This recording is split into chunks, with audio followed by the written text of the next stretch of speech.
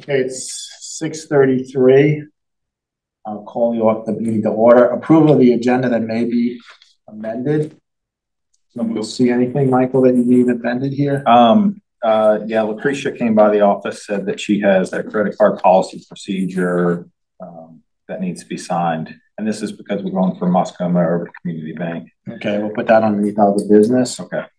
All right, is there a board of liquor control? I don't know if I saw anything in here. There's nothing in this packet. I don't see anything, so we'll, we'll strike. Uh, Lucretia's on, Lucretia is on, but just, um, it's not showing. Lucretia, is there a board of liquor control?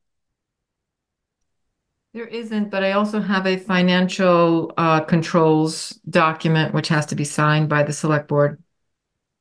That's the credit card or just? No, that's separate from the credit card policy and you know, if you're gonna ask some questions, I would prefer to be if I could be earlier than later. So why don't we move, why don't we move, um, the, uh, Board of Liquor Control to, uh, take that out, but put in those two, the credit card and the financial inclusion for number Sure. seven? Why don't we put it before the recreation? We'll put it before the recreation, we'll put that at six and then we'll put recreation at seven. Great, Alright, thank you. So, um, all in favor with the changes made? Um, approval of the minutes. I've got June twenty-fourth, special select board meeting. Um, Chris, Rob, and myself. Um, this was with the, it was a special meeting because we had to set the tax rate and the childcare and a whole bunch of other stuff that was in here, so. I didn't see anything on it. That was the emergency, that was the twenty-fourth. That was the twenty-fourth, that was the special. Motion to approve the All in favor? The emergency select board meeting, um, June twenty-fourth at one P M, that was a six thirty.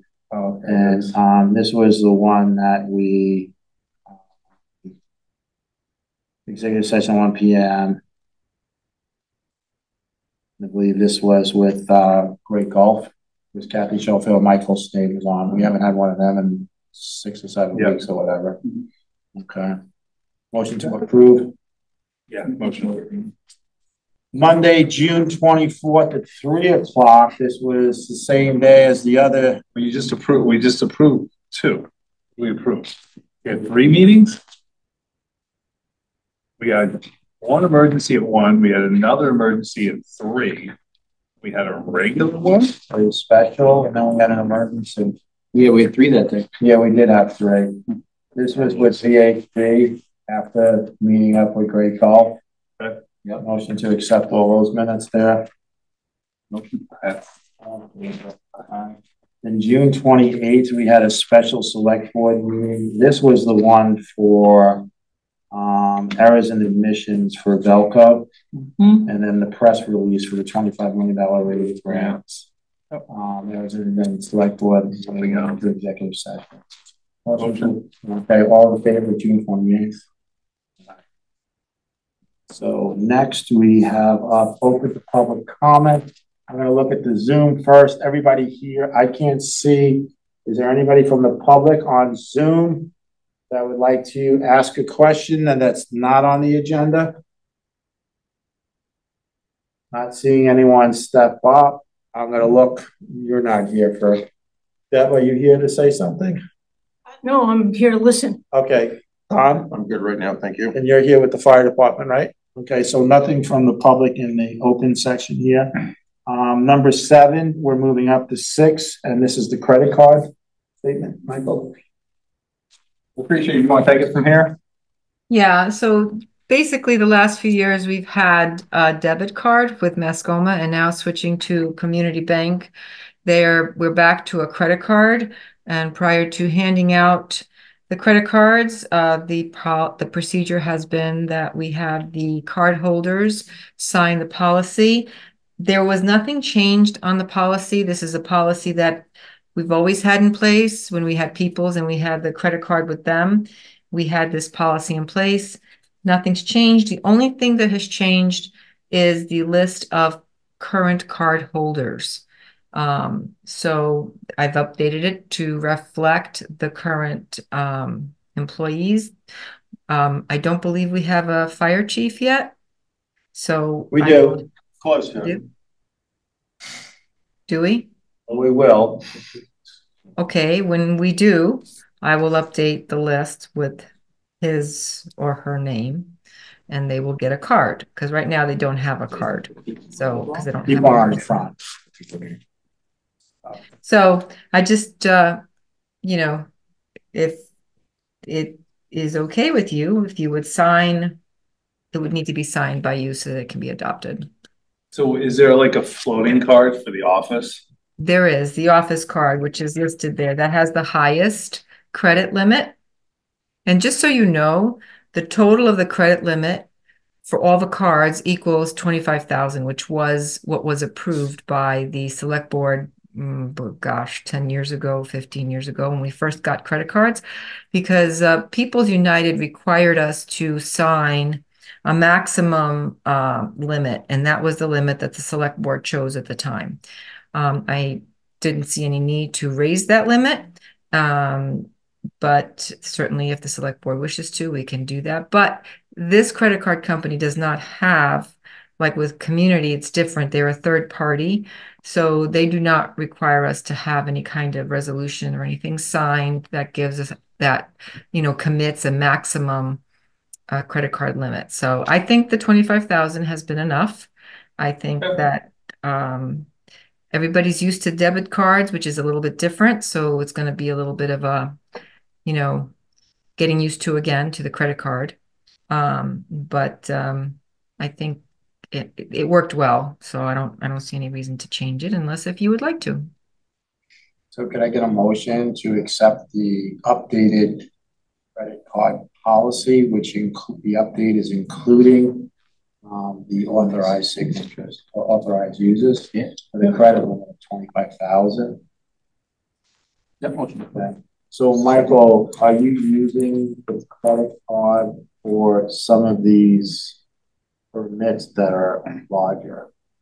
I, I will. And what I've done in the past with Mascoma is if it exceeded my uh, allowable amount to spend, is I could reach out to Mascoma to raise that. I think Lucretia was saying that uh, process might be a little more difficult now with Community Bank, but not impossible, maybe. No, it's not. And I was on the um I was on the website. I've got I finally got that all set up so that I can view everything online. Um it looks relatively simple to change the credit card limits. So um we won't know until we hit the first one. Um, do we get any perks from it? I was gonna say, there should be some benefits associated with it. Yeah. Actually, I think this card does have some cashback rewards, which y- it sounds great. But that causes, that actually does, um, can create a little bit more of an accounting, um, Yeah. headache, but maybe it's a good one to have. So we'll, we'll see. We're gonna have to, we're just gonna have to, you know, go along and But see if how. not, maybe it's something we donate those, if it's miles or perks, we can don- donate them to a philanthropic cause that we find necessary. And Well, if it's miles. so it doesn't create. It's not miles. It's not miles. It is cash back, I believe, cash reward. So it's like, uh, just gosh, like two point something percent maybe. we're And I don't know if it applies to all purchases, some purchases. I, I haven't gotten into the nitty gritty of the, of that yet. So I think as we use the card, Trying We'll- figure we'll something see out, what- what we could Put it into like the rec department for, you know, uh, And then we have a, kids that. Yeah. Five oh Yeah, one I C think we do three. help Yeah. And the fire department, whatever, on that side too, that maybe we could split it, and then the senior citizen. I don't know how how much we do. I don't know how much it If we only have twenty-five thousand a month, we're really not doing that much, or a line of credit. Why don't we- find it necessary? Pay it off before. Do you have, do you find it necessary to make, I mean, you only have four thousand dollars. I, I rarely use it for anything over two thousand, to be honest with you. The Okay. only, only time I've ever exceeded that was pay a permit. And even then, they only allow the, you to go over for like, what, an hour or something? Maybe it's longer than that, but Well, that was, basically it again. I just, we all know ten thousand dollars is pretty much nothing. So mm-hmm. I just don't know if you probably should have more, just in case, like, if you have the option that the town needs to purchase something, and, you know. What what they have me I mean, now? let's be honest, at this point, I'd rather get some kind of reward for Yeah, it yeah. than it would be to put seventy-five cent stamp on the thing. We had a whole and strategy around. Never mind pay for the check and everything else, a lot Yeah, easier. we Put everything on it. Yeah. I don't buy a whole lot, to be honest mm-hmm. with you. Okay, that's what I meant. I just The didn't large know- If purchases- Yeah, it's creative, you know, if you, if you can. Or maybe just extend the one for the town off, the Yeah, town office, yeah. the office card, so that they have the ability to go out and. Go ahead, Lucretia. The town office card is the card that's used for most purchases and certainly the larger purchases as such as computers and things of that nature. So we use that for, and you know, we're going to try it out because I've got a computer order that has to go in for the lister, So that's going to be a nice order. So we'll see how that goes. So why don't we, uh, accept this for now? Accept this for now, but look at extending the. Time. We can go on and on. Well, why don't like, you, Can you pay the electric bill with a credit card? Can Yeah, pay yeah. Cell phone, can you pay Cap it out the, all that? If you're And spending then the money get anyway. two point something They percent, don't charge us, you can spend twenty-five hundred dollars a month you know? on each account you have of electricity. Yeah. I do it, trust me. Yeah. so keep in mind, any expense, any expense has to have a receipt. And if we are going to do something with any kind of rewards, we have to have some documentation. So They just send keep that in one. mind. We'll, we'll let you, we'll keep you favor of- posted. All in favor of accepting the credit card, the, the, the existing credit card, um, yeah, bylaws, whatever you wanna call it, with the added whatever. Added. Aye. Then the next one that you have. The next one is an internal financial controls checklist for municipalities, cities and towns. It is required by uh, the state auditor. And I will be very honest with you, this has not changed over the years at all. And um, with all of the transition, the last time I had this signed by the select board, I'm sorry to say, was in 2020. So I apologize for that. Um, but uh, this questionnaire is always part of our audit. Our auditor requires it as well. So we, we're doing it. We were just doing it on a different level, which was one of the reasons why I too would. Uh, but I figured now is a time to get back into the um, into the practice of doing this, and it's it's due. It's supposed to be done every June 30th of each year. So um, it's just there. It's You just need more of a financial background check, whatever, checks and balances. yeah, checks, checks and balances to make sure you look down that list and you look to see, you know, the answers. And I think we're in really good shape. I don't think that we have, I think we're pretty well, we have a lot of checks and balances in place. So, um, Is it called a disclosure? What is this called? Financial? No, it's a financial, internal financial controls checklist so that you're, Can I you're get a making sure you motion have things in to place. Approve the financial, internal financial controls. Ron, motion. Yeah, motion, so moved. Aye. You can look- No, we have it. Now hand it over. Yeah. It's just the basic checks. You doing? Oh, Okay, okay, yeah, yeah, checks. makes sense. Yeah, Yep, yep, okay. yep. So it's saying that they follow this, the standard financial. Perfect. Yep, All in favor? makes sense. Aye. So just make Now sure one of you signs it, please. Yeah. So we're on to, um, the rec department. Um, Lisa, I guess maybe you can, Lisa or, um, Emily, you can introduce Andrea and then we can get this thing kicked off. Sure. Do, do you guys want to give me to give you a little just background on the project before we? Sure. Andrea, about um, two, two years ago, the planning commission um, had indicated that they really believed that we needed um, to update our recreation master plan. We have a recreation master plan. It's, I don't know, about 15 years old. Um, and um, the commission felt, A, we needed to update the plan, and also because we know that we need a, a new pool that is part of the uh, plan, we should take a look at, you know, where we want the pool to be located, um, what kind of facilities we want, and um, related to the pool, how we want the pool to um, interact with other, you know, our playing fields and other rec facilities, the playground, and then um, the last piece, I guess, in this puzzle is the fact that the town, the existing town hall, um, is becoming available and is going to be converted to a rec center slash senior center slash community center. So we applied for a municipal planning grant. We applied twice, and both times we were denied. Um, I spoke with um, the um, uh, person from the state, and he just said that you know it really didn't kind of fall in for the types of projects they fund. So I went back to the planning commission, and they said, well, you know, we think this project's really important we have this reserve fund that the um, select board put aside. Um, let's, you know, go out and get some uh, proposals and, you know, just move forward on our own.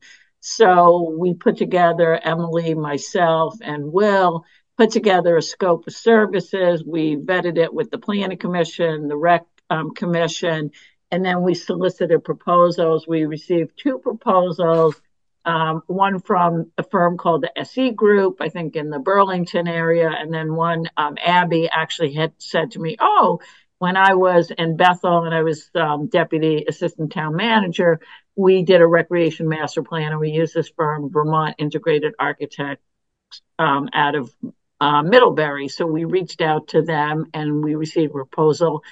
From them, we also reached out to a couple other firms who declined. We had asked Nicole Kesselring, and she had indicated that she would love to be part of a, a project proposal, and she is in fact a um, a sub on the VIA proposal, but that it was not something that she would take on as a prime. So um, we received the two proposals. The Planning Commission reviewed them and felt strongly that the VIA proposal was the better proposal. We then went to the rec commission, and Emily is here, so she could add. And um, they too agreed that um, it, they felt it was the stronger proposal, and both um, commissions felt that this was an important project and it was something that they would like us to move forward to. So, with that, um, Andrea Murray from Vermont Integrated Architects is here, and I'm happy to make, I guess, a, a brief presentation about the firm, their uh, approach to the project and um, answer any questions. And, uh, you know, I was excited to learn that Andrea had actually worked as a um, camp counselor for um, Killington uh, many summers ago. Everybody, uh, thank you so much. Uh, I'm Andrea Murray from Vermont Integrated Architecture. Thank you, Lisa. first of all, I owe you all an apology. I know we were on the agenda for the last meeting and I signed on at like 7:05 and so I had the wrong time and I sincerely apologize. Promise it won't happen again. Uh, I, I thought, and tell me if this is what you would like, I'd just tell you a little bit about our firm, our approach to your project, and uh, who our consultant team is. Uh, but I'm happy to not do that if you've all read the proposal um, in depth and just answer, go right to questions. So, what, what's your favor? I think you should just give a little background because there are people in the audience that are probably listening. Great. Not, not the uh, long story, the short. the short story. Delighted to. Um, so I uh, am a lifelong Vermonter, as is my business partner, Asher Nelson, and we founded our firm in 2011. Um, and this part is, I think, in, important. We named our firm Vermont Integrated Architecture because we are both from Vermont. We care a lot about this place, the natural places, and the built environment, and all the kind of tender places in between. Uh, the integrated part is that our pro- our projects are not about us; they're about you and our consultants and all the users of the buildings and spaces we help design. And uh, it makes for a much richer, better project when at the end, the folks say, "Hey, they really listened to us; they got it right." Uh, and then the architecture part, hopefully, is is obvious. Um, we've done a lot of master planning around the region, and I like to think of master plans as kind of roadmaps. Uh, if you have a master plan that ha- is not flexible, it gets put on a shelf and we don't use it. So we try to create tools that are really useful for you and your community, not just when they're complete, but that you can use it as you move forward. So if step one in your master plan is to, let's say, relocate the pool, um, we want to know what step two likely is going to be, but we also want to be able to skip to step three if that becomes more urgent. All of our master plans take into account a number of factors. Um, we we care a lot about your money and we know that your community cares about its money as well. And so we need to provide you with budget information, both upfront cost and life cycle cost information about the investments you make. And so that can include simple things like repairs and maintenance and how do we get on top of that and make decisions about materials and things that will last a long time or about materials and things that are really inexpensive and get the job done right away. So we work with you to establish those priorities. We also put a big plug in for sustainability, uh, energy efficiency, and being kind to our natural environment. So that can both save you money, but it also does favors for our environment. And we can provide energy data, carbon data, and other information about site moves, about building moves, um, all sorts of design strategies. We've worked with uh, a lot of stakeholders on various municipal projects before, and I think this is really important that we build support for your project from the the beginning and, and all the way through, and that we listen carefully to the rec committee and users of the rec park, and um, that that will will help make your lives easier as you begin to execute the project. Uh, excuse me. Um, finally, in terms of code and regulation, land use planning, permits, things like that, we deal with this all the time. And we'll, we will be working with Enman Kesselring. So Nicole and Patrick and, and their team um, will certainly help with site and land use permits, uh, everything from stormwater, wastewater, uh, drainage, um, you name it, uh, potable water, things, things of that nature. We're also talking a lot these days about resiliency and how do we design sites and buildings that are um, sustainable from a, a, disaster type of point of view or a you know significant storm surges things like that. So we're working on lots of strategies to help communities plan for those events. Excuse me um, and then finally i would just say we have in our office a deep background in construction and procuring construction services so even though we're just talking about planning at this time, we can help you figure out how you're going to get it built. And I'm sure you have a lot of experience as a community with various projects, but there are many different delivery methodologies for construction. Uh, there are different kind of ways to get it done. And so we can help you with that. Um, our consultant team, you just passed it um, right there, but we're, I guess they're all, they all start with E. Uh, we have Enman Kesselring for civil engineering, and I know the town has worked with them in the past. Uh, engineering Ventures for structural engineering. They have an office in uh, Lebanon and in Burlington, uh, one of the larger structural engineering firms. Uh, engineering Services of Vermont, mechanical, electrical, and fire protection as necessary. Uh, they're based in Rutland. And then Henry Erickson as a cost estimator. So as we start to prioritize projects or phases of your master plan, we're also going to come up with some order of magnitude budgets because sometimes that has bearing on what you decide to do when uh, and in what order. Excuse me. um, so yeah, so we're a relatively large firm for the state of Vermont. Uh, we recently um, took over the operations for Maclay Architects in Waitsfield. So we are 18 architects strong, or I should say 18 people, 10 licensed architects, and seven designers and an office manager. And that was the quick, quick down and dirty. Um, do you have any questions? What are some of your more successful projects that you've seen into completion lately? Yeah, um, great question. We we do all different types of work. Um, we recently, I should say, for the past several years, have been working on a master plan for Kimball Union Academy in Meriden, New Hampshire, so not too far away. And we are about to complete two new dormitories, um, complete construction for two new net zero energy dormitories. Uh, so that's a pretty interesting project. It's, it was about $19 million in construction, and those dorms will be uh, operational come hopefully August 1st, but certainly for the beginning of the fall semester. Um, I think one of the projects I'm most proud of are well, there are two municipal projects that I'm very proud of are the Waterbury Municipal Center. So that is the library, town offices, um, and historical society in, in Waterbury. And that was completed, gosh, nine years ago. but it was something that we got involved in after um, Tropical Storm Irene.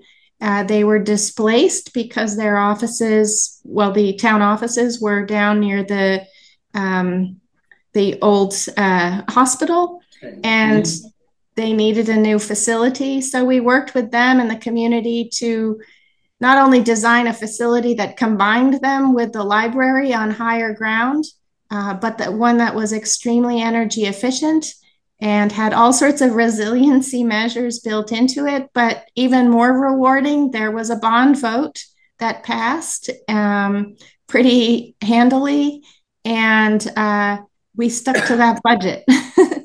um, the other one municipal project I'm I'm quite proud of is the Shelburne Library, a new library for the town of Shelburne, and that was a quite ex- extensive project.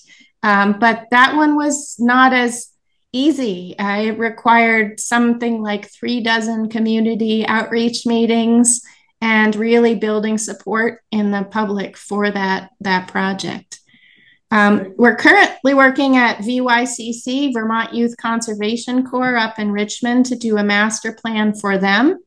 Uh, it, it's a nine I think it's nine or 10 buildings on a rather large site, everything from, you know, workspaces to dormitories uh, to infrastructure on that one. Um, and that one, I don't think any pieces of that will start construction until next year, but it's been a, a long and interesting project. Great, thank you.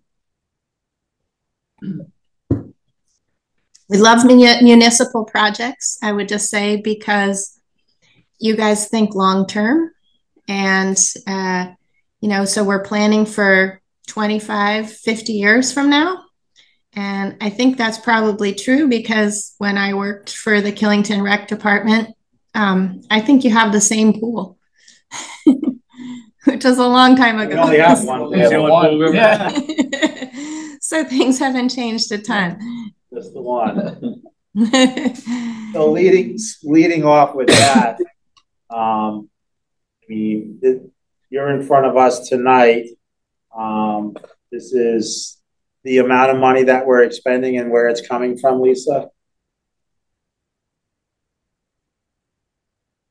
I think you're muted.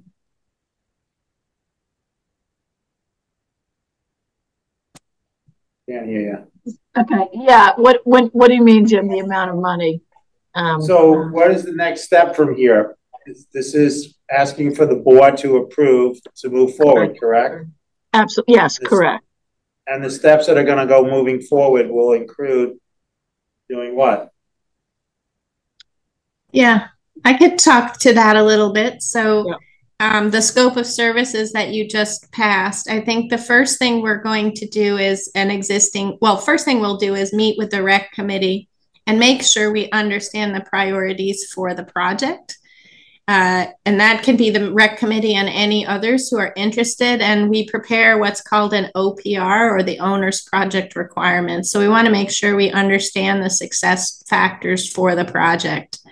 We'll, we'll assess along with our consultants um, the existing buildings and their systems, mechanical systems. We're also going to look at the site uh, and the, the property in terms of what's developable, where there might be drainage issues, um, you know, really try to understand what the conditions of the property are and where different uh, things could go, different program elements. We'll produce existing building and site documentation, which will be the basis for the master plan and kind of de designing new elements going forward. We will um, also prepare a code and regulatory review and a permitting review, and we'll confirm kind of some overall schedule items. Uh, that's sort of the background work that we do before we actually start the planning and design work. and the design work will start by creating some concepts for folks to react to, some different ways that the site um, could function. And we hope to get a lot of input from the community on that. Uh, that's item number two. And then once we have your input and your kind of feedback, we will move into the final part of the plan, which is to develop the projects a little bit more. So create one cohesive master plan, but within the master plan, they're apt to be individual projects, whether it's the pool or renovations to the old town office building or the pool house or parking or whatever it ends up being. There, you know, we like to put these into sequential projects. Like you wouldn't want to, um, you probably want to do the new pool before you take the old pool offline. So we'll help you kind of prioritize and sequence those along with creating budgets for each of those phases or sequences. um, yeah, and then uh, we'll prepare a final report and, and present that to, to the community.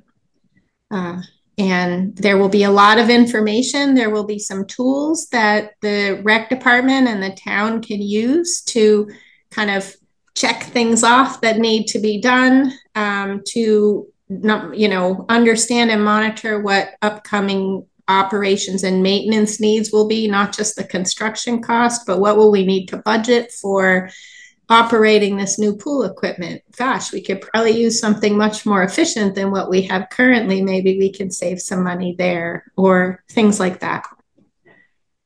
Um, we're looking to start this uh, to do the beginnings of the assessment in September and the majority of the planning and design work through the winter with a, a final date at some point in March. Definitely a better, a more comprehensive answer than I could have given. Although we yeah. did, we did develop the scope, and that their proposal is based upon the scope that we put together. So, budgeted for this. And and so, Lisa, how much money is in that fund for the planning commission? We set up about three years ago for planning commission um, for projects to be planned out. Well, Michael is actually going to come to the planning commission um, on Wednesday and give us a number, but I believe it's about 125,000. Right. And this is the funds that the fund we put in yeah, for a couple of years, and this is their first. You know, we told them to go out and find something. This is really the yeah. first project um, first. that we're we using. We hit it up two or three times for money yeah. to be paid back into it. Yeah, so you know, we, we we talked about it at length. I think at the planning commission, then again at the rec. You know, you know, we could do the incremental approach and say, all right, we, you know, we know we need a new pool. Let's figure out where it should go, or we could do the more comprehensive approach and kind of come up with a. I think you're right, Lisa. I think, and then the other side of it, we could waste that much money without planning. Okay, easily. So to me, I think it's better we come up with a comprehensive plan for that entire parcel, what we see the future looking like versus, hey, let's put a new pool in. So we actually have, yeah, and we actually have three pots of money, it looks like. There's the Recreation Capital Fund. Um, that was just, that was for the pool, wasn't it? Well, no, there's a separate, so there's a separate how much is in the recreation capital? fund? Recreation Capital Fund, there's hundred and nine thousand. And then there's the special fund for the planning? And then there's a special fund for the planning. Yep. It's called a special projects fund, Right. hundred and nineteen thousand. Yeah, Wow, yeah, it's so I close. mean, But then there's, but then there's a recreation pool fund. that's, Right. that, was That's the actual, like, Cool. it, well, it- it's kind of for everything, it's like, how much is in there now? Four and a quarter after this 450. year? Okay, and that's kind of the money going towards, um, actually Eventually building replacing the a pool. and whatever. And we started this fund three years ago, for the special planning, whatever, and giving them time to figure a project out. I mean, this is seventy-eight thousand, call it eighty thousand dollars. Um, and they have almost hundred and twenty in it right now, one nineteen. Um, you know, I'm not gonna step in the way of, we said the planning commission is doing it. They want to do this project, I believe they're coming out on Wednesday and um, the rec department is, uh, want to get into this and I'm with Chris, you know, I'd rather get everything attacked at now and have an answer by twenty twenty-five and, um, start making some moves. I know I haven't been in the pool area because my kids are in their twenties now, but, you know, back They let then, old people in. that, I know they do.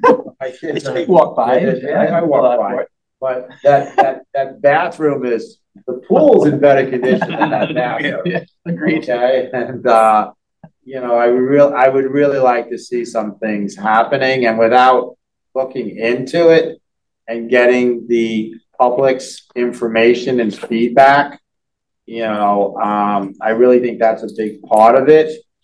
Um, I'm just gonna throw one thing out there. I know we had one group that was thinking about bringing the grade of that all the ways up to River Road. I just don't see how that could ever get done. Um, that would cost a fortune and the compaction of the dirt and everything else, so, I think, I think you it'd be nice to see what a study See what- does. see what they- And what designers can see with what's there, Yeah, realistic so, yeah, versus being unrealistic. So, um, I just wanted to hear. Go I ahead, just Lisa. want, I just want to point out one thing, that when we, um, started this project and we were seeking public funds, we had a very large, you know, um, community outreach component because that's always mandated when you go after grant funds.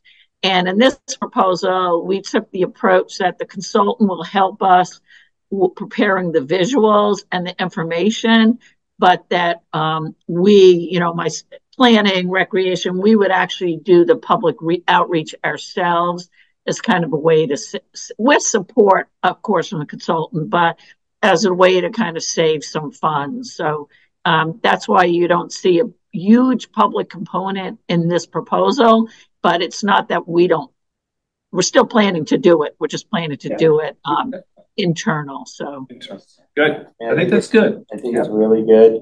I just wanted to hear what the scope was and Yep. pricing there, and then get to, the money is in a fund that we had set up. And we had told them when they find a project Yep. to come to the board. And I'm thinking this is the project that they're. Yeah, I think it's a good- Approving, and I think it's great. I think it's good between the planning commission and rec department Yeah. specifically with it, so. You know, and I gotta tell you, like I have driven down prior to the Fourth of July, the pool is being, Emily, that pool seems like it's being used a lot more. Maybe it's just this year or whatever, or, but it seems to be used a lot more, if you wanna kick in, Emily. uh, Yeah, I don't know if it's because it's been so hot, but it's definitely been a lot busier and I think busier with non-res I think non-residents are starting to realize that they are allowed to use the pool. Um, I think there used to be a conception that it was only for residents, so um like today there was probably outside of camp an additional 20 people in the pool at three o'clock, which usually no one comes during camp hour. So it's been busy. So, um, any questions on Zoom? Um, folks that are, um, zooming in, I think I saw Patrick Cushion and some others. Oh, no question. I was just uh, reiterating what you're saying is I've never met, I've never seen an area that's perpetually as wet as the bathrooms at the pool and for years had wasp issues. So I think this is a wonderful plan. It's As wet as the pool. Um, Yeah. Karen, Moran, do you have a question? No, thanks. Okay. I think everybody else is town folks Mhm. here. I'm gonna go into the audience. Any questions on this project? I just think it's good to have a master plan. I, I think it's, the whole thing should be laid out and do it in phases as we can afford it. Yeah. Okay, yeah. Can I get a motion to accept? That's what you need right now. I now? think so. I make a motion, we accept the proposal as written, as presented by the planning commission and jointly with the um, rec committee. And we move forward. Second. Topic second, all in favor? Aye. Aye, thanks a lot for your time. Can't wait to see it. Thank you, everybody. Emily, while you're on, you got anything else to tell us about the rec? Um, camp's been great and the kids love the van. So everyone, everyone loves the van and they're very curious where we got it. So it's been a Awesome, don't tell them. Thanks, Emily. Air conditioning. Thanks a lot, everyone. Bye. Thank you. Okay, so next up, Abby, you wanna come on up here? We got East Mountain Road paving bids. I'm gonna give you the, Oh, the honor. alright. Oh, the Public Works, right? So there's sealed bid, busy. They gave it to me. I came in, they gave me a butter knife. Anything we suspect to be over two hundred thousand triggers sealed bid. Sealed bid that is only opened in this setting. Yeah, Okay. and what we're gonna do is we're not gonna award bid contingent upon verification that's a qualified bidder. Okay. So we'll read off what the bids are. Yeah. But then we gotta go through to make sure that it matches the actual Specs. specs Yeah, that yeah, we put out. Yeah, And, uh, okay. and like timeline as well, and Yeah. I Okay. agree with the Okay. timeline. So this, these are paving bids for paving on East Mountain Road from, um, basically from Route Four to just past Roundabout Road. Um, total reclaim from Route Four to Bear Mountain Road. Um, and then a new base coat and then three quarter inch from Four to Bear Mountain Road, and then again from the ski bridge to Roundabout Road.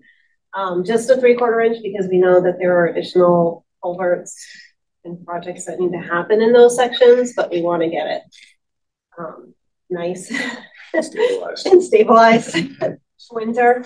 Um, those other projects will probably happen next year. And then I left out the piece um, from Bear Mountain Road to the ski bridge because there's a large culvert there that um, will get replaced this year. And I did put in um, the RFP that we might add to the bid. Good. So if we do finish that before they pave, then they can Now, this, is this including final pavement throughout, or is this one area There will still be? be, so if we do additional, when, I shouldn't say if, additional projects on East Mountain Road, um, then there'll be patch paving in those spots that are disturbed, and then a final, another three quarter inch on top of those. So there'll be one nice. layer of We opening up And this is all part of, this is all part of our FEMA claim. This is all part of the flood recovery. Okay, good. Uh, A year and one day ago, last night. Wow. Was it? July seventh. July seventh at about Da-da-da. five, five o'clock, Call me an hour later. you know? So this one is Pike. No, and everyone watching the other night. Yeah, what do you think of that? Stainless steel. Never open sealed it. That's why we're all staring. I've been at, I've been at for the tip. Trying to clean things. No, the tip has been, This one is especially sealed, yeah, Mike did a really good job. so there's three copies, should be three copies of each, so you each can kind of look over it if you want to read. Pike Industries would like the opportunity to work with you and quote the town's upcoming paving and reclamation road projects. The project we are quoting is East Mountain Road. We would anticipate being in town five days to complete the project. Um, it goes on to tell us about how Pike Industry and what they are. Our approach to the project would start with two days of reclamation, followed by three days of machine paving. Using would be applied between layers of asphalt at a rate of 0.25 to 0.03 gallons per square. Mix will be state approved mix designs of type two base and type four ship. Start date would be tentatively set for August nineteenth for reclaiming, followed by paving beginning August twenty-first. So we will have, um, August nineteenth, we will have the, um, Killington Road open back again at that time. Our fee structure will be based on the price per ton for asphalt used by the weight slips provided to the town for every truck delivering our fees. Traffic control and signage will be done in accordance with part six of the MUTC. Uh, And they give us their qualifications, the bidding qualifications, similar projects they're giving to us. Yep. And on the last page, the second last page, they are coming in for the type four hot mix. Um, at eighty-three forty-nine a ton, anticipated twenty-three hundred eighteen for hundred ninety-three thousand five twenty-nine eighty-two. Type two hot mix, eighty-three forty-nine, one thousand three hundred twenty-two. Tons estimated at hundred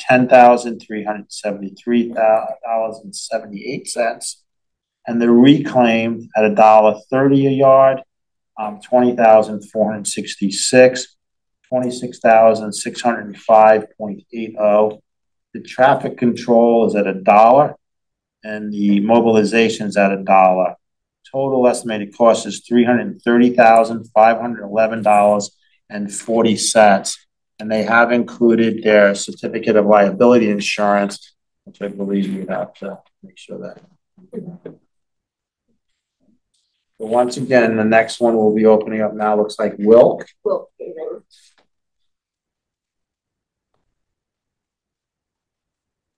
paving. Denise just cut herself really well tonight, Oh, so. no.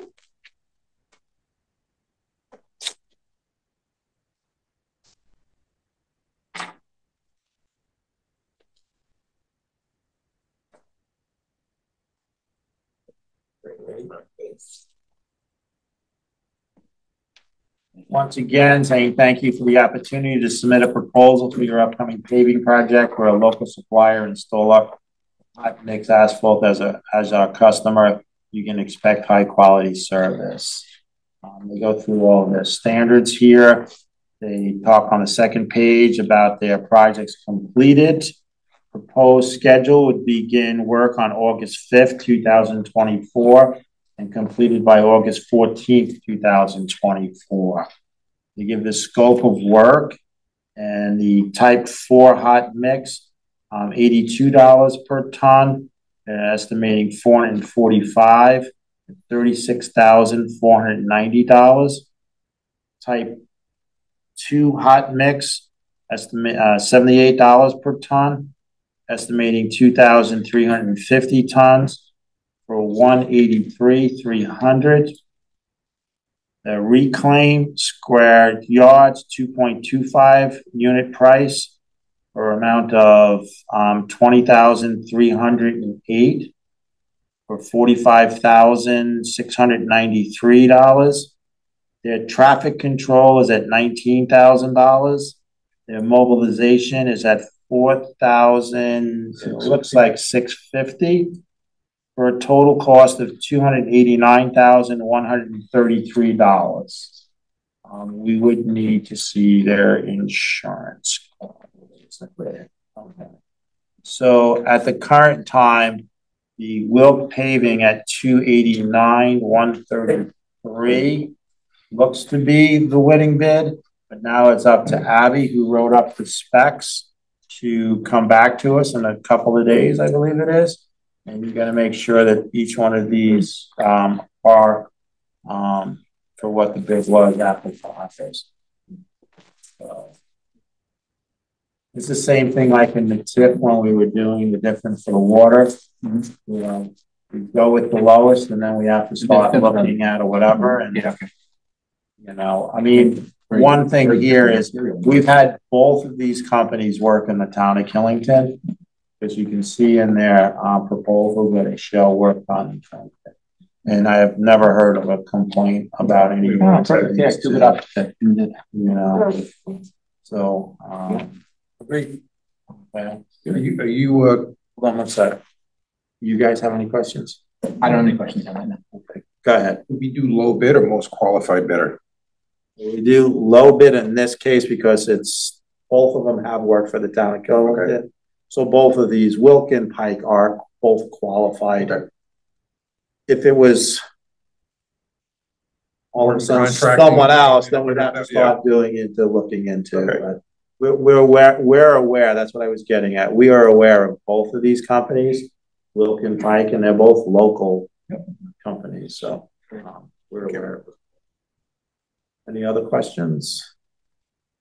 Any questions online, Patrick or Karen? Not seeing any? But, thanks a lot. Thanks, Abby. Thanks, Ed.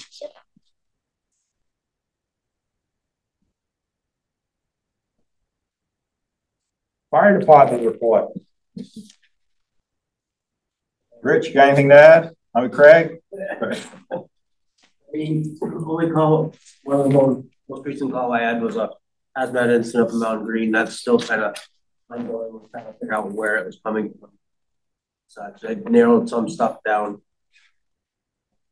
Other than that, I mean, keep training and moving on and bringing people on as they go along. So I got in front of me for the month of June, total incidents of fire, ten, EMS fifteen, both three. Total incidents year to date, two hundred and thirty-one.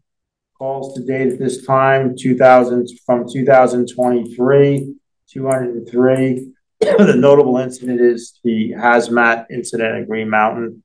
Training updates, three members are in advanced class, one member is attending basic EMT. Two members went to the National Fire Academy in Emmitsburg, Maryland. In-house training man hours for May, three hundred and twenty-nine hours. Apparatus and equipment updates, rescue, two still OOS out of service. Okay, researching of replacement. Ladder one is on limited use due to no ladder certification, but certification will be July third in New York. It's July eighth. How'd it go? We passed flying colors. Okay, so- Why did it go out of certification? Just out of curiosity. It's a new truck. Uh, no, uh, every year, the ladder has to be recertified. Okay. Uh, And with not having documentation from prior, I felt because I can't put somebody up on that ladder and have it. Mm. So it was a safety issue, so we put it down until I could get it certified. Okay. And we got station updates, and I'm just reading this for the public. We're all gonna get it. Okay. Just You know, current roster is at twenty-seven. Jason Norton has accepted with captain position. Yes. He's waiting on contract from the town manager here and closed the search for three more full-time is waiting to do interviews. We got the contract. And you got the contract. Like- Like I said, this thing said July Yeah, yeah. third, so. On the one. So, um, does anybody in the public have anything, or Deb, you wanna add something since you're part of the fire department? Rescue two, that's the excursion. Yes. Not surprised. We were putting that, it's, I mean, it's It's the- two thousand eight time. Yeah. I heard it was the Flintstone thing, like. It, the- it, Yeah. it is. The floor is falling. We got our money's worth. Thank you to the fire department. Got- We got our money's I worth. have two questions. Sure. The first one is, why are we going with a, with a, so much of a paid fire department when we had volunteer forever? What's the reasoning behind it? So the reason behind that is, is that we put it out to a vote and the voters had approved it. Um, we were told some three years ago that, maybe it was four years ago, that we could not get our trucks out on all the calls. That was from the Sherburne Volunteer Fire Department. They came to the select board, Chris and I and Steve Finnemore, said they were not able to handle it anymore. I think it's actually in an email. Okay. And so the town had to take the next steps to figure out what. We used the volunteer fire department captain at the time, chief at the time, it was Gary. I forget last name right now, but Gary was Rob, Rob, and suggested and gave to Chet a schedule of how to move forward with a hybrid fire department. And um, the town select board then took that information. We held meetings with the Sherburne Volunteer Fire Department offices And they all voted for us to move forward with it. And we did, and then we put it to the voters to approve. And they accepted it, and then we put it to the budget and the voters accepted the budget. Okay. So that's what happened on question number Thank you for one. educating me. And the second question I have for you is, Well, let's throw them to me oh, as the chair, that's not Oh, getting into okay. the. uh, are all our firefighters at least level one firefighters? So can you give us an update on what levels we are and, uh, of firefighters? So all my full timers are level one and two. I've got a mix of the volunteers have, some have fire one, some have fire two. I, right now, I've got probably about, for level one and one, level two is uh, I think about ten. I'm working on getting, we don't, state of Vermont only does class once a year. So these new people that are coming on, I have to wait until now I think it's like September for the closest class, which is Woodstock. This, this time around. So um, whatever I can get in there, I can get in. You have about ten level twos? Yeah. And how many level ones? Probably about three or four. Okay, so half of the fire department is at least, um, fire one and two. And how many people have no level? Uh, probably right now, sixteen. And they're all going to the level one classes No, coming they are up? not. Uh, Some, some don't want to do interior work because they don't, they're claustrophobic or whatnot. So I have other chores for them, like running a lot, running the ladder truck, running engines. So, I mean, we're a combination department, volunteer, so therefore I, can use people as I can, as they want to learn and open up. So I'm hearing about thirteen are firefighter one at least. Yeah. Which is about where we were, I think, prior, when we weren't getting trucks out the last two years when we were volunteer. Um, EMTs, I know was another big one here, and I think we had like five or, how many, that Debbie, like five or six that were a certain advanced EMT at the time, back about five years ago? Yeah, three. You, David, and, No, I'm not an, I'm not. an oh, okay, advanced. oh, the AMP was, um, It was, um, uh, Steve, yeah, Steve and Denise Denise Coriel, and, and, uh, um, I don't remember what the third one was. okay. How many advanced EMTs do we have today on the? fire Myself, department? two of us, myself and, uh, Captain Bowman. And then are there anyone in training for advanced EMTs? I've got Yeah. three and I've got three in training for that. Uh, Captain Foot, firefighter Elliot and firefighter Mallory are taking their advance. Okay, and then how many, um, EMTs, not advanced? Uh, I think I've got three or four, but then I also have uh, six, what we call Vermont first responders. So they're what we used to call the emergency care attendant. Right. So they're the bottom line, they only can do certain things, but they're, they can go to calls. Yep. And So we're, we should be ahead of what we've had for the past five years, once these classes end, and one of the classes end for the three that are in class right now. Uh, the EMT, or the advanced class will end, I believe it was October. Okay. Uh, the basic that I have, he should be same, same time, so. Okay. So we should be back up there. And And also all my full timers are cross trained, so. eh, when they leave this, buil- when we leave, except, actually, except Captain Norton, he is going back to get his. and then since we're talking EMTs, um, Chief Witt, um, you have on your department, uh, paramedic, right? Or, Right. He decides to re up it, but yes, we want paramedic. but right now, currently he is Yes. a paramedic, an EMT, Yeah, paramedic, yeah. right, okay. which And he then is- new hiring that we have coming on, She's not have an EMT. she's not an EMT at this time, okay. which his ser- officer is also on my roster because of, he's just roll him into the first response. And I do have one other paramedic on, on my, on our shift. Okay, and then since we're talking, we're gonna get into the police next, but the KSAR group, Yes. You have any EMT on the KSAR or are they all just KSAR? Some cross members that are with the fire department are also part of KSAR. So. Thanks a lot there. Okay, with, I think you have the next one for. the report. Thank Thank Department report, thank you. Sure. Uh, month of June, two thousand twenty-four, total of one hundred and sixty-eight, um, incidents with sixty-two cases, calls of service one hundred and six. Year to date, um, from the first of the year till the end of June two thousand twenty-four, total incidents one thousand three hundred and twelve, five hundred and forty cases, calls of service seven hundred and seventy-two, uh, compared to twenty-three uh, from the same time period, first of the year till June thirtieth, one thousand one hundred ninety-one cases, five hundred thirty-one calls for serve, uh, five hundred thirty-one cases with six hundred and sixty calls for service. So that's about a ten percent, ten point two four percent increase from twenty-three to twenty-four. Um, new hire, uh, Officer Kayla DeLorenzo starts tomorrow. Uh, she'll go through a training program with us and she's coming on board and we're looking forward to that. Um, Still talking about recruitment retention. We'll have another slot available. So I've got some interest with uh, someone reached out to me today, actually, possibly for that. Uh, we're continuing directed patrols. Um, there's been a number of uptick in burglary and larceny cases, somewhat normal for this time of year due to a lot of the uh, vacant properties. Uh, 21 total KSAR members, team members, all uh, wilderness first aid certified. We had two call outs in the month of June, which went very well. And um, we're doing a kind of a large scale training program with the state coordinator, rescue coordinator, uh, Drew Clymer, uh, sometime later this summer. It'll be both classroom and scenario based. Thanks.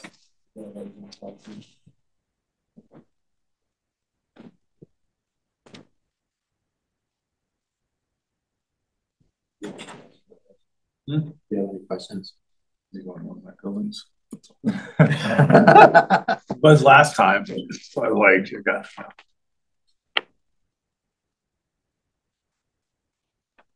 Um,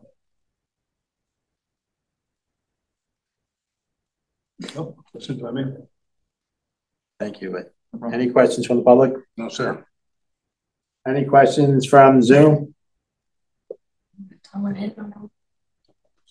Not seeing any? Town managers report? Thank you, Jim. I just, uh, I just did like a narrative here because, you know, as staff is growing, it has grown. Um, and I've got very qualified department heads who are putting together very good reports, which is kind of looking back at mine. Um, I've been able to take a big step back and just allow them to give out the information. So I've just prepared a narrative here for you. Um, I'm not sure if I need to read it, but it is online if, if everybody would like it. Um, I, I, guess I'll just kind of piggyback off what Chief Montgomery and Interim Chief Bowman had to say. You know, we've got two new two new employees, um, and then we've also got another employee, Jack, um, who's was Jack's last name Rasmussen. Yeah, yeah, yeah. And so his, his first day was at the transfer station. Yep. And um, said he really enjoyed it. He yeah, left. He left with a big smile on his face. Yeah, that's so, great. So that was really nice. Then, um, so he'll work from nine to one. He's got a helper with him. Um, and Tuesday, so Monday he helps Jay at the uh, transfer station. Tuesday, Wednesday, Thursday he'll help Peter. Okay. Um, so that's that's the plan for Jack, and, and we'll adapt to his needs as we work with them. Uh, we set, um, you know, the, the last select board meeting or a few ago, we set the tax rate. Uh, representative from representative from um, NEMRC came in today, and we put the tax bills together, and we anticipate in mailing them out here next week.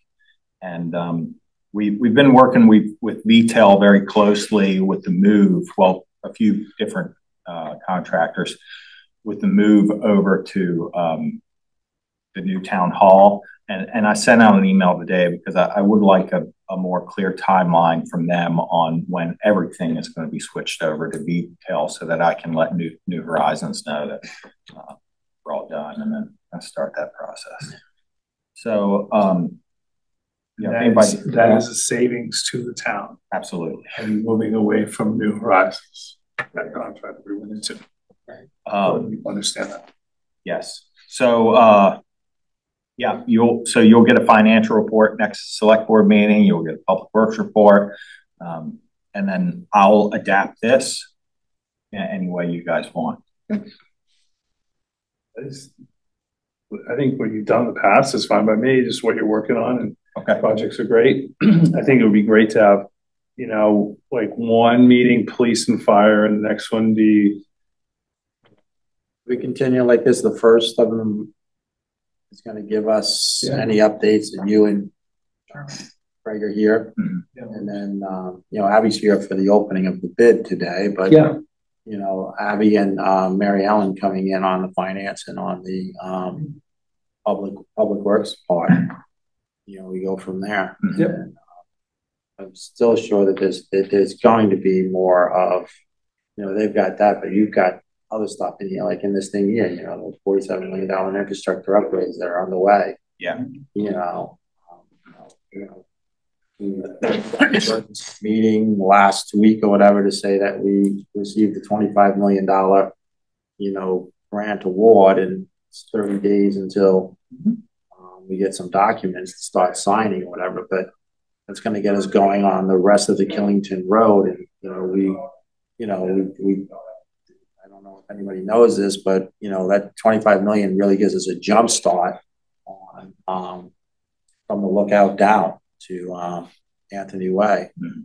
And, you know, it's, I, I think it's given us two or three years, um, jump on where we were by, you know, Lisa going out, working with VHB and Abby and everyone else and Michael getting that thing going for that grant process.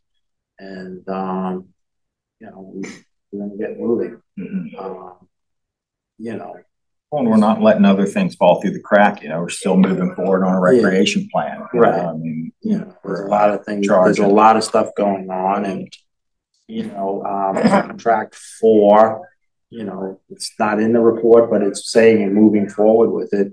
But we have contract four for the water line that's gonna go from East Mountain Road down to Ravine Road, and that's going out to bid within ten days.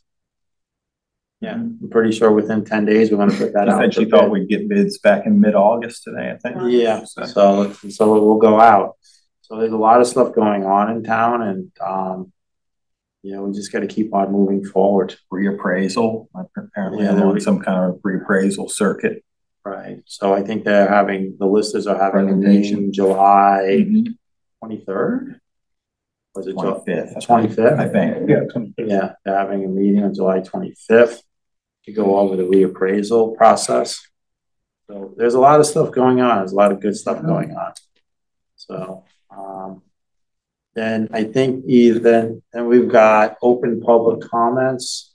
So, um, Don, I think you're the only one here, and then there's people on Zoom. Oh, sure. Okay, so, um, I've got Patrick Cushing and Karen Moran, if you want to say something here at the end of the meeting. Uh, I do have a question for Patrick Cushing. Uh, are- is there any moves being made to do audio and video recordings of the special and emergency meetings so that we're in compliance with the uh, open law me- or yeah, open meeting law So as posting on the town website? This afternoon, even though we were going into executive session, July one is passed. Um, we do have the, we did take a recording of us opening the meeting and going through the process and then coming out and going from there. And um, I believe we have like two or three days to get it up onto the website. So. we'll Yeah, you have quite a few. I think it's Yeah. after the agenda gets um, approved, then you have to put it up for 30 days or something. So we put it out, but we also have to have, um, once the draft minutes are done and the draft minutes stay until, um, the draft minutes have to be put up within five days. And then after that, um, they're taken down thirty days after we actually approve them. So the minutes that were done before today or before July one or whatever, if it was now, then they would be still staying up since we approved them for another thirty days before we, um, we take the video down. And, um, the minutes are, we've always have our minutes up for at least a year. Mhm. Yeah. So, Yeah, no, the question was just about the um, the audio video. It sounds like you guys are on top of it. Thank you. yeah. we got this new cool TV and system now. So, I'll tell you, it looks, a- it looks a lot better on this end. Yeah. So, any other questions, Patrick? Nope, that's it. And, um, I see Kevin, our road foreman's on. I mean, hate to, you have anything you want to throw in, Kevin? No, I think I'm all set. I mean, just progress still on Thundering Brook and whatnot, but um, that's really it. Thank you. Thank you. Welcome. So other business, I see that we have a Killington Board of Selectmen from Killington Board of Listers. Subject Great, Great Gulf Killington, GG Killington LP. The following parcels number one oh three nine four, one oh six six nine, one three one six five, and one three eight nine one were owned by SP Land and were sold to GG Killington LP. They were not shown in any of the transfer documents recorded in the town office, which the listers use to transfer ownership in our grand list program. As a result, the listers did not show the transfer, and those tax bills were sent to SP Land and subsequently not paid. The listers have corrected the grand list to reflect the new owners as GG Killington LP. The error was done by the listers and not by GG Killington LP. The listers recommend that the interest and penalties assessed against the parcels be waived. Can I get a motion to accept the lister's recommendation? What is, do we have any idea what the amount of money is? I saw the list, it's about ten thousand dollars worth of principal I think I wrote money. Um, I don't think it's that much. I think it's like six hundred and sixty-four dollars. I thought there was one of them for like four grand. Oh, really? I didn't see that. I saw about ten grand. So, um, Either way, it was, Yeah, it's- it was because of the transfer. I would just like to throw on here that we've finally put the bill correctly to GG Killington LP. And that we tell them that this bill is due within thirty days or penalties and interest. We'll start accruing that. We understand that there was a mistake, but they need to get this thing paid in thirty. Yeah, days. we've known about it for quite a while. It's just kind of getting This. the ball rolling. Yeah. So can I get a motion to accept the lister's recommendation for these one, two, three, four properties? I would make a motion that we accept the, uh, uh, Listers recommendations of the listers and that we waive all interest and penalties. And just, and that the bill has to be paid within Within thirty thirty days. days. Yeah. Got a second, Rob? Second. All in favor? Uh, we can just sign this. So is there any other business? Um, just need to go into big executive session, talk about personnel and Since we got Don here. No, really. I took a ride because I went to, uh, a service yesterday. And I know it's, and I finally took a ride up there and I did, blah. Uh, so Summit Path Road, Summit Road goes Summit from Killington Road right? up, okay, Okay. to the corner. Okay. At which point it goes to Summit Path to the summit. So when I drive up. January Way goes from the corner of Summit Path and Summit Road down her way. Okay, so when I drive up and the first on the right is the ice cream store. Mm-hmm. Okay, so that's a driveway off of Summit Road. Road. Okay, and that's a driveway. Then the next I drive up, I think is your driveway. That is correct. And it's a, it's just a driveway and it's one house. Mm-hmm. So you are off of Summit Road. That's your address from Killington Road to your driveway should be a number. That's off of Summit. Then to the It should left, be assigned a nine-one-one. it should be assigned nine-one-one and it should have whatever it is from Killington Road to your driveway is Summit Road, okay? And then to the left after his is the Foundry, okay? so this is the Google Maps. That's exactly right. Summit Road, there is a Summit pathway and Um, this is where Emmett got involved. Remember, we had Chet flipped it, okay? Yeah. Summit Path did go at one point from January way up, okay? And um, it, I, it has been forever confusing because not only they named it, one point it was Summit Path, then um, and the licensing for the foundry when I bought it was all screwed up. And so they sometimes had it listed as 200 Killington Road, which it's not on Killington Road. But anyway, um, and it was, but the pathway went from that corner to the summit. Was I'm just term. making sure that, because I know it comes up a But lot. Then he And, changed. and it- no, no, and it was confusing because January Way, and I know we had a conversation one time in the office. And I was like, well, how many houses on that road or whatever? And I was thinking when you said four, that your house was on there, but when I finally went up to take a look the other day, January Way has three houses on it, I believe. Three structures. Three structures. And nine-one-one, um, code, Abby, nine-one-one, if once there's more than two, it becomes a private road or a road. Have the name. You have to the name road. it. Tricia Carter, who's been here longer probably than anybody in this room, correct? Okay. She bought that, she built that house and it was seventy-six Summit Path. Okay. All the records Yep. in the town, it's You're right. seventy-six Summit Path. I'm Path. not gonna argue with you. So that's my address. Summit Path.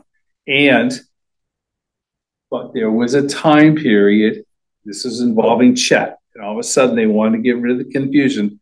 And we went, I'm like, I had always understood the Summit Path when I bought the property.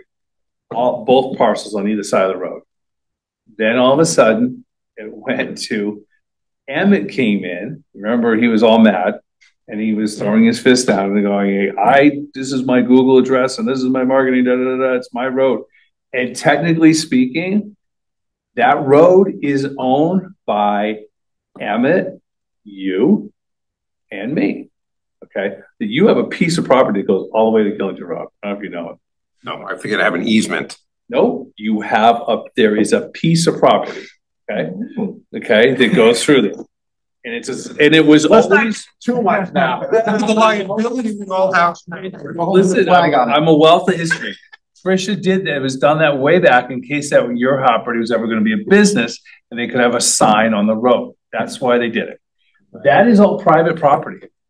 And Emmett does own the roadway though, coming, so we have pieces that go down, but the roadway itself is owned by Emmett. Okay? That So- I, I agree. And when they changed the road, I felt, I didn't ask him to change the road. I felt bad that he, that he, that they did that to him. I thought they. They didn't do it to him. He, this is what he wanted to do. Okay, we went back and all of a sudden it became, Chet just was trying to clean it up. And he says, what is it? We're sat in a meeting. I go, I've always known as Summit Path. So we just said, because that's what I was told when I bought. Okay, then all of a sudden we went Summit Path. Okay, Summit Path, boom, sign it. Next thing you know, he comes in screaming and hollering and threatening. If you look at the sign at the water wheel, at the map, Mhm. I go to get my coffee and sandwich in the morning, it says there Summit Path too. I know, I made it. I made that. That's why. But the point is, is like, but he actually owns that road. Okay, we all have slivers that go down to it in the way that you got to also understand too. The foundry was subdivided off of the Summit parcel originally too. That was one big parcel. But I'm trying to end this, the January way Goes from the is, is, is the, it was a driveway when it was like one house, if it was one or two house structures. The minute it goes to three, then it can have a name to it, okay? So that driveway became January Way. She has nothing to do with the Foundry driveway off of Summit Road, nothing to do with Mad Hatter's driveway off, and nothing to do with yours. What I'm hearing is Summit Path. Are we okay with Summit Road? Me? Yeah, No. no. And that's, that's the issue that you're bringing up. that We you don't it should have a Summit Path. choice. It's not a town road. Right, so that's, so to us, that came somewhere, I got us off of January Way, okay? You take it up with your other folks. He doesn't, we, uh, we have an. Just e- when they change, when they change, Right away, he has ownership, right? He has ownership of the Yeah, ownership, so he named it Summit Road. so when they changed January, Summit Path to January Way, that dropped me Mhm. out. That wasn't, that was not Summit Path. That was not named. She couldn't get delivery there for FedEx or anybody to go there because it wasn't named. So she put this all together, put the name to it, it's January Way. And January Way has always only been from Summit Road now, that used to be Summit Yeah. Path. Or Summit, whatever, talk to whoever, but January Way is always just that driveway. That goes off of Summit Road now. So, because it has three structures. Go ahead, Abby. So Does the sign at the street say Summit Path? Nope, It says Summit. it's not a town sign. It's his sign.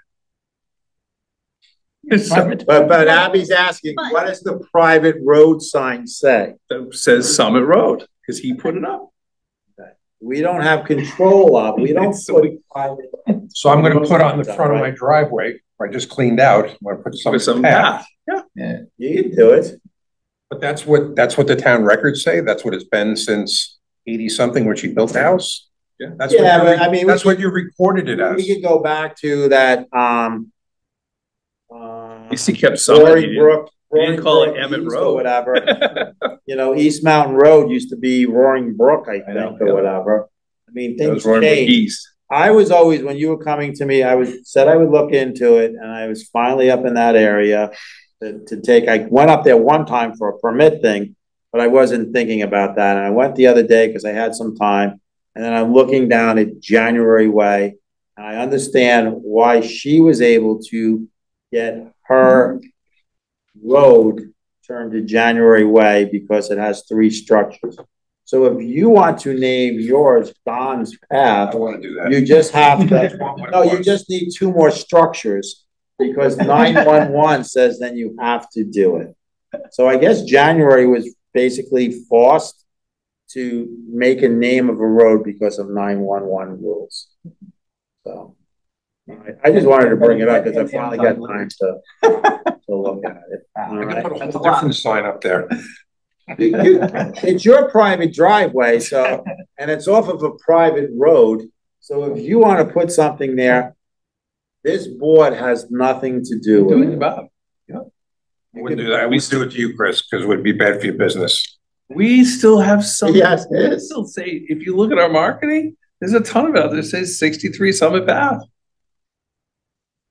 You could And, put and as far as You could put anti. DLL thinks I'm two hundred Killington Road, I can't get them to change that. Right. They just license the place as two hundred Killington Road, nothing to do. so, all right.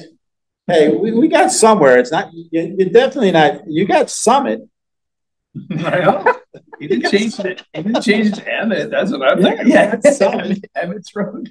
I own it, now I found that I own a sliver, what is it, six inches wide? It is the It's tiniest that big. It is, it is the tiniest piece. It's a flag shaped block. And it was designed that way. I mean, you could, you step over it, you know what I mean? But About the size of a mini flag. Designed that way so you could, so the sign could actually be out on the road, way back.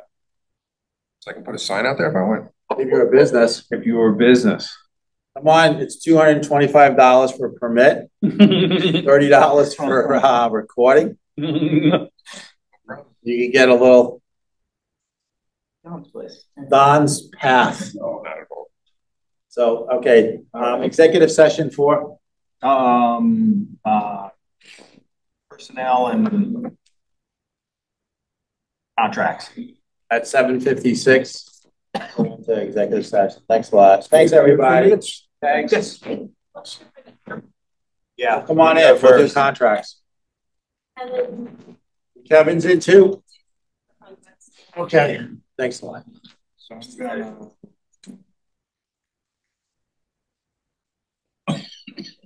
Stop recording.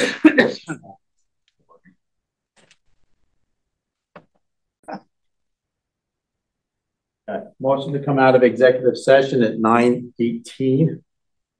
No action taken. Can I get a motion to adjourn, Chris? Motion to adjourn. Robert, here, can I get a second? Second. All in favor? Aye.